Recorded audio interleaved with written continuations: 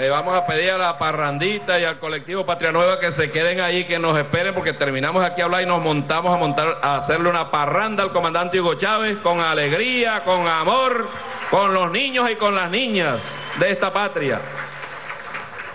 Quiero primero pues agradecer a estos niños hermosos. Ahí está Chávez. Ahí está Chávez en la cara de esos niños, de esas niñas. Y uno debe sentir una gran satisfacción que después de... Tuvo el comandante en el año 77, 78 aquí. Y encontrarnos aquí nos llena de fuerza, de espíritu. Yo siempre le digo a la gente, cuando usted está desmoralizado, escuche a Hugo Chávez. Usted se siente cansado, tiene dudas, escuche al comandante Hugo Chávez. Un ratico nada más para ver si usted en un discurso del comandante Chávez recibe algún gesto de pesimismo, de derrota, de entrega, de entrega de, rendición, nunca. Usted siempre encontrará en el discurso del comandante Hugo Chávez un discurso de esperanza, de paz, de vida, de futuro, de futuro para esta patria. Y el por aquí pasó Chávez Quiero saludar al compañero gobernador primero, por favor. Nuestro querido compañero, el mayor general Sergio Marcano, Rivero Marcano, no Rivero, Rivero Marcano, extraordinario soldado, al almirante Cerante, a nuestro alcalde David Velázquez, a todas y a todos los compañeros de la Fuerza Armada, a ustedes y a, a todas, saludamos. Vi por ahí y me sentí muy contento de ver a Antonio Esparragosa que está entrenando otra vez. Listo para el combate como siempre. Listo para el combate como siempre. Hermano Antonio Esparragosa, de las peleas de, de allá de Seúl y de Corea a las peleas por la revolución bolivariana. Uno debe ser constante en la vida. Lo más feo que hay es un guabinoso, ¿verdad? ¿Verdad? Que uno, uno termina viendo los guabinosos así de lado. Mire, seamos íntegros como somos, como somos tal cual. Cuando tengamos que ver a la gente a la cara, lo vemos a la cara y le decimos las cosas, pero se las decimos desde el corazón. Así nos enseñó Chávez, ¿verdad? Así nos enseñó el comandante Chávez, porque era un maestro. Los maestros tienen que ser así. Tienen que amar lo que hacen. Tienen que amar lo que hacen. Yo les decía a los compañeros que el comandante Chávez llegó a la Academia Militar, éramos cadetes nosotros, y ya el movimiento bolivariano estaba, era el año de efervescencia en la calle militar, año 1985, estaba Costa Carles, Ronald Blanco, nuestro querido compañero Ronald Blanco La Cruz, soldado ejemplar de los, perdónenme lo que yo interprete, pero de los más extraordinarios soldados que ha dado esta patria, Ronald Blanco La Cruz, estaba ahí en la academia militar, maestro, maestro, maestro. Y había en los cadetes una fuerza por todos lados para lucha. Y el comandante Chávez se paraba en ese patio y enfrentaba a quien tuviese que enfrentar. Y nunca faltaba en su discurso Bolívar. Nunca. Faltaba en su discurso la patria. Y se atrevía ahí en ese patio de armas de la Academia Militar a decir las cosas no están bien. La corrupción anda galopante y los superiores lo veían así como, como asustados. No conocían a Hugo Chávez. No lo conocían.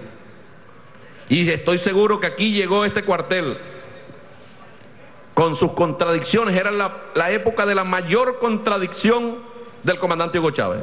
Pensó hasta en pedir la baja, confesado por él mismo por las contradicciones entre venir a una unidad de cazadores, así se llamaba, unidad, ¿cómo se llama? Batallón de cazadores. Cedeño número 12, ¿no? Número 12. Y lo que él creía, porque se llamaban cazadores, ¿por qué?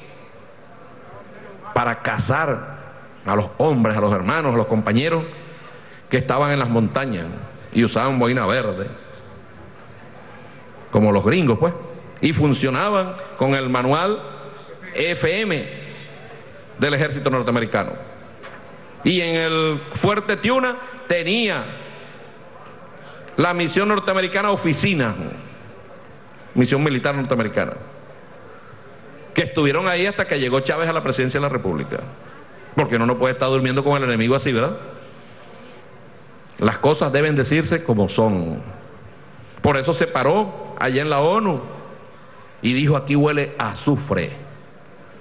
Porque era lo menos que olía después de haber pasado el jefe del imperio por ahí. Y fue, fue a lo mejor diplomático al decir que olía a azufre. Y por aquí pasó el comandante Chávez con su juventud. Y Juliana, estaba aquí, y los compañeros de béisbol, y los compañeros de comunicaciones, y sus sueños. Y aquí comenzó a escribir un diario. Un diario. Rosa tiene, Rosa Virginia, ya en el cuartel de la montaña, ya digitalizados buena parte de, ese, de esos diarios, del diario del comandante Chávez, cuando lo mandaban a operar, cuando estuvo aquí, lo que vivió aquí en este, en este cuartel. Hoy, a cuatro años de su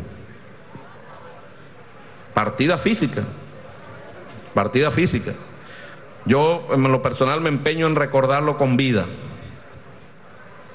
A estas alturas todavía no me resigno a pensar que está allá en el cuartel de la montaña. Yo sigo pensando que Hugo Chávez sigue en, la, sigue en la calle, junto al pueblo, junto al que sufre, junto al soldado, junto al niño, junto a la niña. Hoy me pasaron una foto temprano de un niño, no, un, afiche del comandante Chávez que se puso allá por el cuartel de la montaña y un bebé que tendría como tres añitos y medio. Y él se acercó a darle un beso a la foto de Chávez. Y tomaron esa foto. Esa foto yo creo que vale oro. ¿Quién obliga a un niño de eso a hacerlo? Es el corazón. Es el corazón. Por eso nosotros estamos obligados a decirles a nuestros niños quién fue Hugo Chávez. Todos los días decirle quién es Hugo Chávez. No dejemos que los que contaron la historia de Cristóbal Colón cuenten la historia de Chávez. No dejemos que los que contaron la historia de Antonio José de Sucre, que dijeron no, Antonio José de Sucre, ¿cómo lo vendieron? ¿Cuál fue el cuadro que nos vendieron a nosotros para toda la vida? Para la posteridad de Antonio José de Sucre, muerto en Berruecos. ¿Cuál es el mensaje en verdad? un héroe, un campeón de la libertad como Antonio José de Sucre, un militar extraordinariamente formado, un soldado, un ciudadano, pero terminó muerto. Todo el que se parezca a Antonio José de Sucre termina así. No importa que tenga 35 años, o tenga 40, o tenga 50, o tenga 66, como a Francisco de Miranda. ¿Cómo nos vendieron a Francisco de Miranda? preso en la carraca. Todo el que sea como Francisco de Miranda termina preso en la carraca. No nos han visto todavía. No nos han visto. ¿Y cómo nos vendieron ellos? A Colón. Ah, Colón. La pinta la niña y la Santa María. Y las maestras, perdónenme mis queridas maestras, pero nos decían, una composición sobre la llegada de Colón y que nos vendieron en los libros. La pinta la niña y la Santa María en el mar, Colón bajándose con una cosa que parecía una cruz y los indios nuestros arrodillados. Nuestros indios arrodillados. puro arrodillado. Así nos escriben la historia y nos engañaron durante años. No dejemos que ellos cuenten la historia de Hugo Chávez. La historia de Hugo Chávez tenemos que decirla nosotros y nosotras. No permitamos que mientan sobre Hugo Chávez. ¿O ustedes creen, queridos hermanos, que eso que hizo, que hicieron en Colombia, una serie, eso es que, eso es gratuito? No seamos ingenuos. Eso es parte del aparato propagandístico del imperio. Para que nadie sea como Hugo Chávez. Por eso va el presidente del Perú y hace una diríamos nosotros, ¿no? Quiere resembrar aquella vieja cosa de los cachorros del imperio, un cachorrito del imperio. Y lo asume, él se asume como un cachorrito del imperio. Y que los únicos que nos portamos mal somos los venezolanos. Ah, carajo, nos vamos a seguir portando mal. No nos, no nos van a domesticar. Nosotros nacimos libres, somos libres y seremos libres hasta la eternidad. A nuestros hijos y a nuestros nietos le entregaremos una patria libre, soberana, independiente, bolivariana y profundamente chavista por siempre. Hay que tener cuidado, porque son los valores que nos tratan de sembrar ellos, mejor dicho, los antivalores que tratan de sembrarnos. El socialismo es malo. ¿Qué es eso del socialismo? ¿Quién comenzó aquí a hablar del socialismo en verdad? Después que el socialismo lo habían enterrado con la Unión Soviética. Hugo Chávez. Hugo Chávez Ahora comparemos, si quieren ellos, cualquier gobierno del mundo con lo que hace el socialismo que ellos tratan de tapar. Busquen un solo país del mundo donde el gobierno le construya vivienda a los pobres. Uno solo del mundo. Busquen un solo país del mundo donde el gobierno le, la educación sea absolutamente gratuita. No existe en ninguna otra parte del mundo. Busquen un país del mundo donde un presidente se para y dice aquí no puede haber hermanos que no sepan leer y escribir. ¿Dónde aquí? Y seguiremos levantando las banderas y señor Kuczynski, ojalá usted viva bastante para que nos vea seguir portándonos como usted dice mal. Pero yo estoy seguro que no será este pueblo de Venezuela nada más, porque esa semilla de Hugo Chávez no fue aquí en Venezuela nada más. Esa semilla le está dando la vuelta al mundo. Y ellos dicen por allá, ¿y qué tendrá Venezuela que no ha caído? Esos son sus análisis. Ahí está el pueblo con el carnet de la patria, ¿ven? Un pueblo organizado. Ellos dicen, ¿qué pasará en Venezuela que no ha caído? Bueno, la principal razón que no ha caído es la conciencia de un pueblo. Pero ¿cómo era aquí, hermanos? Miren muchachos, por eso es que no nos cansemos, así como Hugo Chávez decía, decía, decía, decía y dice todos los días, nosotros tenemos que andar predicando la palabra de Hugo Chávez de Bolívar y del socialismo en la calle, sin pena de ningún tipo. Sin pena de ningún tipo. ¿Cómo era aquí? Me decía Antonio que él andaba con los compañeros guerrilleros, eran los que le prestaban eh, seguridad al comandante cuando venía para acá, para el estado Sucre. ¿Y cómo trataron esos compañeros en los años 70? En los años 60. Los mataban, se los llevaban más de 11 mil muchachos y muchachas, campesinos, estudiantes, deportistas, trabajadores, trabajadoras, mujeres. Los apresaban y los metían aquí mismo en Cocollar, Teatro Operaciones o en el otro Teatro Operaciones que está aquí en aquí en Monagas, en Cachipo. Y el que entraba ahí, listo, más nadie sabía. Por ahí ruletearon a Alberto Lovera, después que lo asesinaron, terminaron lanzándolo al mar y el mar devolviéndoselo a la conciencia de ellos si era que tenían.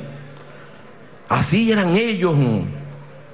Van ellos a resistir un ápice de comparación cuando aquí todo estaba privatizado cuando aquí no había absolutamente ningún servicio que no fuese, iba a ser vendido, si no, ya, si no se había vendido ya, ¿y a qué precio? ¿Y quién se quedó con esa plata? Ellos mismos se la robaron. Y hoy nosotros estamos aquí bajo un ataque inclemente del imperialismo. Nadie vaya, por favor, hermanos y hermanas. El imperialismo no tiene cara. El imperialismo no tiene amigos. El imperialismo lo que tiene es intereses. Y nadie vaya a pensar que sobre Venezuela van a cesar los ataques del imperialismo. No caigamos en esa ingenuidad. Porque si a nosotros nos tocara enfrentarnos a los batepartidos que tienen aquí, Primero Justicia, Voluntad Popular, ah bueno, que le echen bola porque aquí estamos nosotros pues. Pero no nos toca enfrentarnos a ellos. ¿No ves que cada vez que ellos tienen chance, lanzan desde allá el imperialismo un mensaje para darle fuerza a ellos porque son tan inectos que no han podido? Hubiese tenido la guerrilla venezolana en los años 60 todo el apoyo que tuvieron ellos. Y les decía, nosotros estuvimos dos años presos y no le chillamos a nadie. Y ustedes no encontraron nunca una pancarta que dijera liberen a Hugo. O en la OEA discutieran la liberación, la cosa de los presos políticos en Venezuela. O el Congreso de Perú eh, sacando una resolución en apoyo a los militares presos. ¿Sabe qué había? Olvido, censura. ¿Y nosotros nos rendimos? No nos rendimos. Y aquí estuvo Chávez con 22 años apenas, un muchacho. ¿Y cómo salió Hugo Chávez de aquí? Fortalecido, fortalecido. Y era, éramos unos muchachos, el comandante Chávez tenía 30 y... ¿Cuántos años? 37 años para el 4 de febrero. Y nosotros tenemos 27, 28 años. Unos muchachos hicimos un juramento. Algunos que no juran con el alma se han hecho los bolsas. Pero los que juramos con el alma, pase lo que pase, y en la peor circunstancia que pueda haber, le seremos leales al comandante Hugo Chávez. Pase lo que pase y en cualquier circunstancia nosotros seremos leales al comandante Hugo Chávez. Quedan muchas batallas. Por eso es que Chávez tiene que andar vivo cabalgando con nosotros. A Chávez no lo podemos meter en un cuadro nada más. Qué bonito el cuadro del comandante Chávez. Practiquemos lo que hacía Hugo Chávez. Hagamos un esfuerzo por ser cinco minutos al día como Hugo Chávez. Cinco minuticos, ¿vale? Imaginemos todos los que estamos aquí que decidamos cada uno ser cinco minuticos como Hugo Chávez por día y que los que están en la calle decidan lo mismo. No, nadie puede vencer esta revolución si es así. Nadie, nadie la vencería. Aquí estuvimos nosotros, mira, el 26 de agosto, creo que fue 25 de agosto, ¿verdad? Del año 2012. Estábamos aquí, mi comandante me dijo, íbamos para Carúpano. No, no, íbamos para Carúpano. después que estuvimos aquí, a un acto en, Carúpano. Y yo, me dijo él, anda tú primero, y yo me fui, en esa noche me fui manejando hasta allá a ver una cosa que se iba a inaugurar para ver cómo estaba. Y yo me regresé y le dije, mire, mi comandante, eso está funcionando, pero cayó el palo de agua y esto está... Y me dijo, yo no me puedo ir a ningún acto porque yo tengo un pueblo que está aquí pasando necesidad. ¿Y qué hizo Hugo Chávez en su enfermedad? Agarrado su carro y se fue para Cumanacoa. Y eso no fue por pantallarle a nadie, porque no tenía ninguna necesidad el comandante Hugo Chávez. Se fue desde el corazón, con su corazón enfermo, enfermo, con muchos dolores. Porque nosotros lo trajimos, nosotros estábamos antes en Maturín, en, Morichal, en La Faja estábamos. Y nos, nos íbamos a venir rodando desde La Faja hasta Cumaná. Me preguntó, ¿cuánto tarda? Y yo le dije, bueno, cinco horas si no se para. Si es un viaje Hugo Chávez, como tres días. Cinco horas tardamos de Morichal a Maturín. Entonces me dijo, no, vamos a quedarnos aquí, nos íbamos para casa de mi mamá. Y después me dijo, no, no le vamos a llegar a la vieja así porque se va a poner muy, muy nerviosa. Vámonos para Cumaná. Se montó en el avión, se vino en el avión y yo me fui en un avión después de él. Y cuando iba despegando me dijo, cuando llegue a Cumaná, vamos a montar una rueda de prensa. ¿Miran cuántos? 15 minutos a buscar radio, a buscar televisor. Afortunadamente las radios de aquí, bolivarianas, revolucionarias, se presentaron al aeropuerto. Y cuando llegó el comandante Chávez, estaban las emisoras de radio. Y dio su... Algún periodista debe acordarse o alguien que estaba en ese momento. Luego se quedó aquí, yo llegué después y me fui esa noche para, para allá, para, para Carúpano. Era una planta de empaquetado de, de, sardinas, algo así creo, de pescado. ¿Ah? ¿Ah? La procesadora, sí. Y nos fuimos para allá. Y de ahí nos fuimos rodando, ahí sí nos fuimos rodando hasta Maturín esa noche. Después que salimos de Cumanacoa, nos fuimos rodando hasta Maturín. Y uno ahí dice, por aquí pasó Chávez. Era impresionante el amor, es impresionante el amor de un pueblo. Salimos de Cumanacoa, y esto uno lo dice con la suerte que le ha tocado en vida, pues. Yo iba manejando, él iba al lado, y iba, creo que el teniente Escalona en el puesto de atrás. Íbamos hablando, y la gente salía por todos lados. Y eran las 11 de la noche y nosotros todavía rodando mi comandante. ¿Y cómo se enteran? ¿Cómo se van a enterar? Por aquí va Chávez. Y todos esos pueblos de San Antonio, de Guanaguana, de, de Sabana, todos, todos los pueblos, la gente en la calle, la gente en la calle de Aragua de Maturín, y era el amor de un pueblo por un hombre. No dejamos que, no dejemos que eso se pierda, hermano. No, dejamos, no dejemos que eso se pierda. No permitamos que nadie hable mal de Chávez. Porque el que habla mal de Chávez o permite que hable mal de Chávez está echando tierra para enterrar la revolución. No permitamos eso. Está con su palita echándole, hecho el pendejo, echándole tierra. Lo triste es que algunos dicen ser chavistas. Algunos dicen ser chavistas. No, que si el comandante hubiera hecho tal o cual cosa.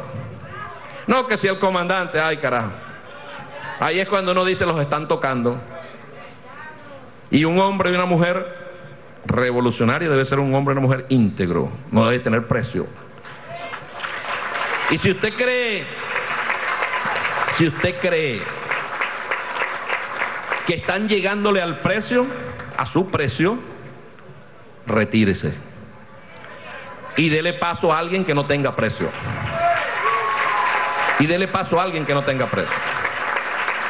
Porque cuando nosotros decimos que no volverá la oligarquía a gobernar este país, tenemos que estar convencidos que la oligarquía no va a volver a gobernar este país.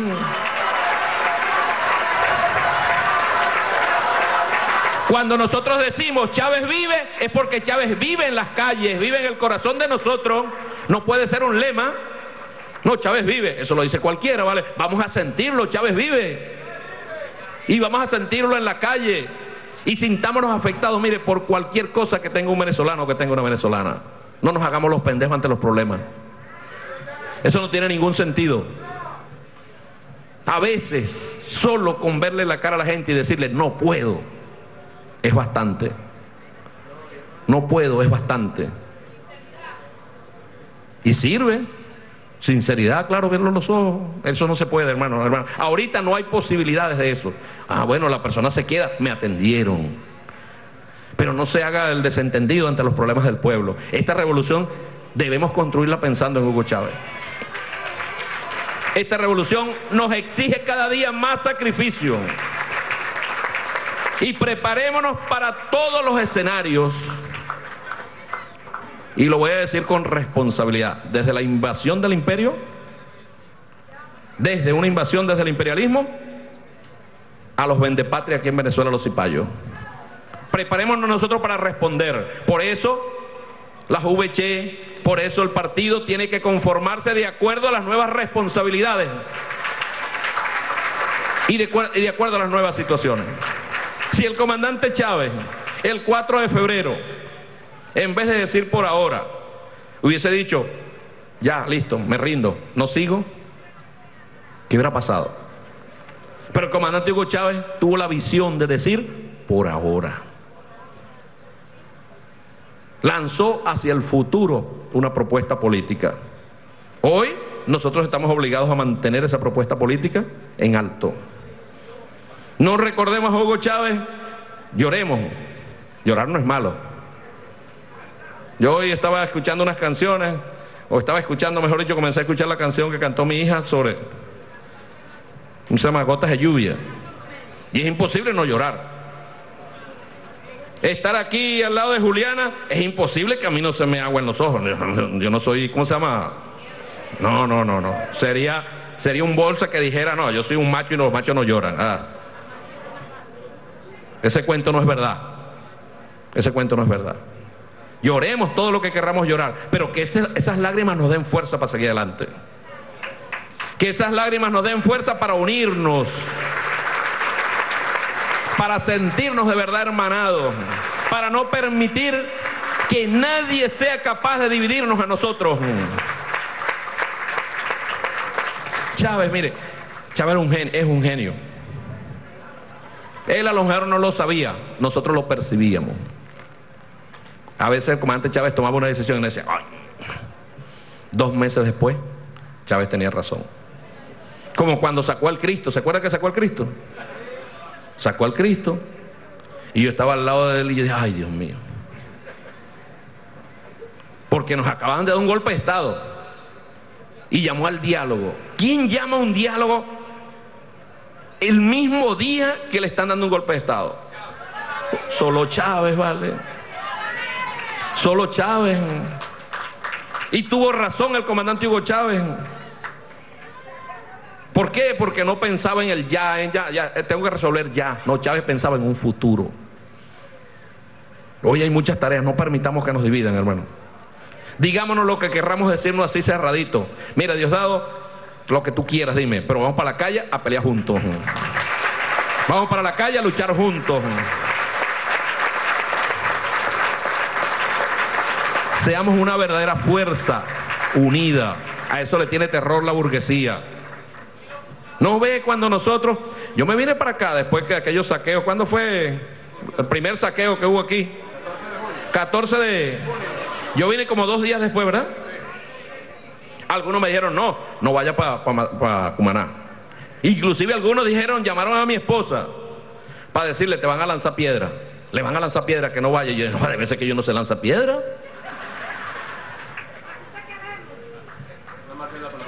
¿Y en, la, en la avenida Panamericana se llama? ¿Cómo se puso eso de pueblo? Y ustedes creen en verdad que eso era porque estaba Diosdado Cabezal, porque estaba Chávez, vale, es la revolución. Es la revolución, vale, uno tiene que darle la cara a los problemas donde hay que darle la cara. Y nos fuimos por toda Venezuela porque ellos decían que iba a dar un golpe de Estado el primero de septiembre. ¿Por qué no dieron un golpe de Estado el primero de septiembre? Porque vieron un pueblo en la calle restiado, que se iban a ir de Cumaná así sea caminando para Caracas a defender la revolución bolivariana. Porque vieron un pueblo restiado en Táchira, en Mérida, en Trujillo, en Yaracuy, en Bolívar, en toda Venezuela dispuesto. Y por miles nos íbamos a meter allá. Nosotros no estamos jugando, no, no estamos jugando. Y no por nosotros, no podemos jugar por esos niños. ¿Cómo nosotros le vamos a quedar mal a ellos, vale? Chávez aceptaría que nosotros le quedemos mal a esos niños. No, no, no, no, lo permitiría. No lo permitiría.